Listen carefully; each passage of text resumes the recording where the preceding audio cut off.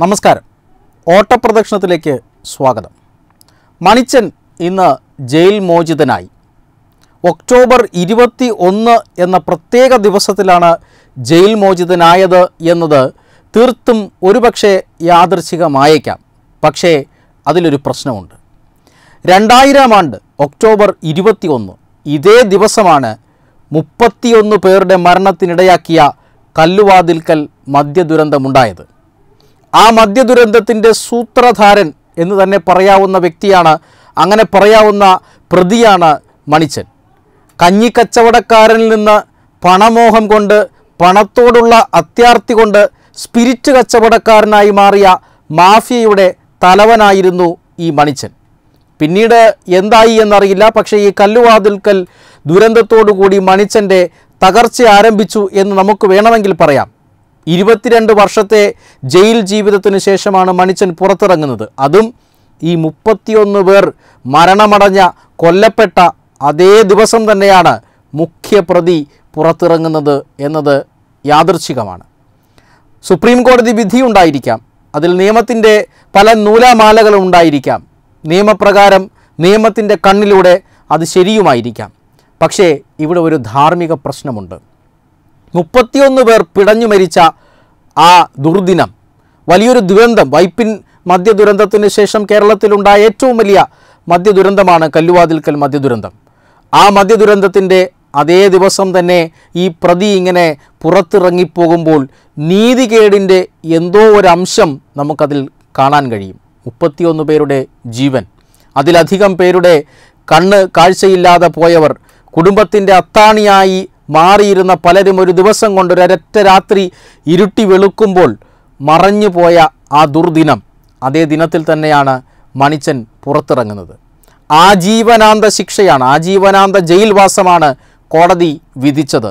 തുടർന്ന് ഈ മണിച്ചൻ പുറത്തിറങ്ങുന്നത് ജയിലിലെ മികച്ച കർഷകൻ എന്ന അവാർഡൊക്കെ വാങ്ങിയാണ് എന്നൊക്കെ പത്രങ്ങൾ എഴുതുന്നുണ്ട്. പക്ഷേ ഇത്രയും വലിയൊരു കൂട്ടക്കൊലയ്ക്ക് കാരണക്കാരനായ ആ പ്രതിക്ക് മണിച്ചന് അർഹമായ ശിക്ഷ തന്നെയാണ് അന്ന് കോടതി വിധിച്ചത് എന്ന് നമുക്കറിയാം. ആജീവനാന്ത ജയിൽവാസം നീതി അവിടെ കിട്ടി എന്നാണ് മരണപ്പെട്ടവരുടെ ബന്ധുക്കൾ വിചാരിച്ചത്. പക്ഷേ ഇരുപത്തിരണ്ട് വർഷത്തിന് ശേഷം അതേ ആത്മാക്കളുടെ ഓർമ്മ ദിവസം മണിച്ചൻ ഇങ്ങനെ പുറത്തിറങ്ങിപ്പോകുമ്പോൾ എന്തോ ഒരു നീതികേട് മനസ്സിലെവിടെയോ ഒന്ന് നീറുന്നുണ്ട്. പ്രത്യേകിച്ചും പിഴയായി ഒടുക്കേണ്ട മുപ്പത് ലക്ഷത്തിലധികം രൂപ അതുപോലും ഒടുക്കാതെയാണ് ഈ മണിച്ചൻ ഇങ്ങനെ ഇറങ്ങിപ്പോകുന്നത്. കോടതി വിധി ഉണ്ടായിരിക്കാം. നിയമത്തിന്റെ കണ്ണിൽ അത് ശരിയായിരിക്കാം. പക്ഷേ എവിടെയോ ഒരു ധാർമ്മിക രോക്ഷം ഈ മണിച്ചന് നേരെ ഉണ്ടാകുന്നുണ്ടാകാം പലർക്കെങ്കിലും. എന്തു ചെയ്യാം? നമ്മുടെ നീതി വ്യവസ്ഥ അങ്ങനെ ആയിപ്പോയി. അതിൽ മറ്റൊരു കാര്യം കൂടിയുണ്ട്. ഇരകൾക്ക് കൊടുക്കേണ്ട മുപ്പത് ലക്ഷം രൂപ പിഴയൊടുക്കാതെ മണിച്ചനിങ്ങനെ ഇറങ്ങിപ്പോകുമ്പോൾ ചിലർ പശ്ചാത്തപിച്ചേ മതിയാകൂ. ആ ചിലർ രാഷ്ട്രീയക്കാരന്റെ മേലങ്കി അണിഞ്ഞ ചില ചെകുത്താന്മാരാണ്. മണിച്ചന്റെ ഈ കേസ് വിവാദമാകുമ്പോൾ അന്ന് പുറത്തായ അല്ലെങ്കിൽ അന്നേറെ വിവാദമായ ഒരു കാര്യമുണ്ടായിരുന്നു മണിച്ചന്റെ ഡയറി കുറിപ്പുകൾ. ആ ഡയറി കുറിപ്പുകളിൽ മാസപ്പടി വാങ്ങിയവരിൽ പോലീസുകാരുണ്ടായിരുന്നു. സർക്കാർ സർവീസിലെ ഉന്നത ഉദ്യോഗസ്ഥരുണ്ടായിരുന്നു. മാത്രമല്ല മന്ത്രിമാരും എം എൽ എമാരും വരെ മണിച്ചനിൽ നിന്നും നക്കാപ്പിച്ച മാസപ്പടിയായി വാങ്ങിയിരുന്ന കാലത്താണ് ഒരു താരരാജാവിനെ പോലെ വാണിരുന്ന കാലത്താണ് ഈ ദുരന്തമുണ്ടാകുന്നത്. മണിച്ചന്റെ ആ ഡയറി കുറിപ്പുകൾ ഇന്നൊന്ന് ചെകഞ്ഞെടുത്തു കഴിഞ്ഞാൽ ഇന്ന് പല നിലകളിലും ഇരിക്കുന്ന രാഷ്ട്രീയക്കാർ ഇന്ന് മാന്യതയുടെ മേലങ്കി ഇണി അണിഞ്ഞിരിക്കുന്ന പല രാഷ്ട്രീയക്കാരും അവരുടെ പേരുകളും ഇന്ന് ആ ഡയറി കുറിപ്പുകളിൽ കാണാമായിരിക്കും. മാധ്യമങ്ങളൊക്കെ അത്ര ശക്തമല്ലാതിരുന്ന ഒരു കാലഘട്ടത്തിലാണ് പ്രത്യേകിച്ചും സമൂഹ മാധ്യമങ്ങൾ അത്ര ശക്തമല്ലാതിരുന്ന കാലഘട്ടത്തിലാണ് ആ വിവാദമായ മണിച്ചന്റെ ഡയറി കുറിപ്പുകളൊക്കെ പുറത്തു വരുന്നത്. ആ ഡയറി കുറിപ്പുകൾ ആ ഡയറി കുറിപ്പുകളിൽ ഇടം പിടിച്ച രാഷ്ട്രീയക്കാർ ഇന്നും നമ്മുടെ സമൂഹത്തിലുണ്ട്. അവർ തീർച്ചയായും ലജ്ജിച്ച് തല താഴ്ത്തണം. മണിച്ചൻ മുതലാളിയുടെ മകളുടെ കല്യാണത്തിന് സദ്യ ഉണ്ണാൻ തിക്കിത്തിരക്കിയ പല രാഷ്ട്രീയക്കാരും ഇന്നും നമ്മുടെ സമൂഹത്തിലുണ്ട്. അവർ മരിച്ചുപോയ കൊല്ലപ്പെട്ട മുപ്പത്തിയൊന്ന് പാവങ്ങളുടെ ആത്മാവിന് മുന്നിൽ ഒന്ന് പശ്ചാത്തപിക്കുന്നത് നല്ലതായിരിക്കും. കൊല്ലത്ത് നടന്ന കിളിക്കൊല്ലൂർ സ്റ്റേഷനിൽ നടന്ന സംഭവ വികാസങ്ങൾ ഇന്നേറെ ചർച്ചയായിരിക്കുന്നു.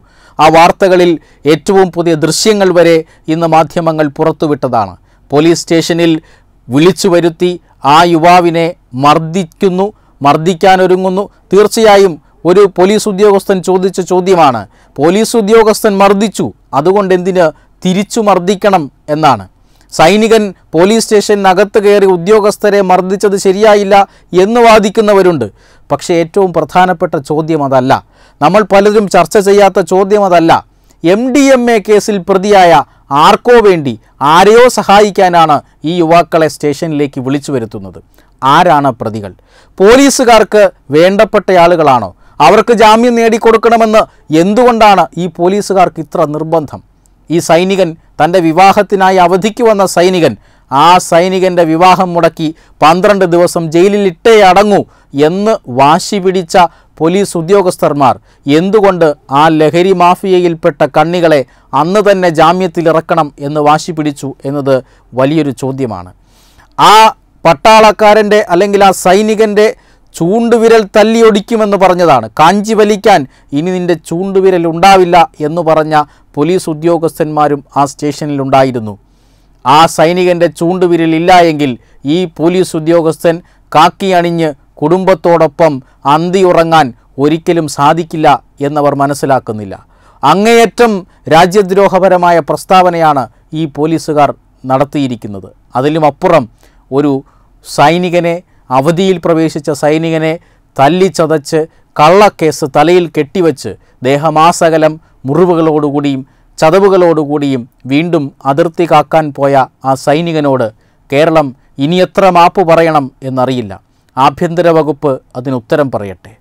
കേരളത്തിലെ കേരളത്തിൽ നടക്കുന്നതൊന്നും ഉചിതമായ കാര്യങ്ങളല്ല എന്ന് ഗവർണർ ഏതാനും മണിക്കൂറുകൾക്ക് മുമ്പ് പറഞ്ഞു വച്ചിട്ടേ ഉള്ളൂ ആ ഗവർണറുടെ വാക്കുകൾക്ക് ശക്തി പകരുന്ന കോടതി വിധിയും ഇന്നുണ്ടായി.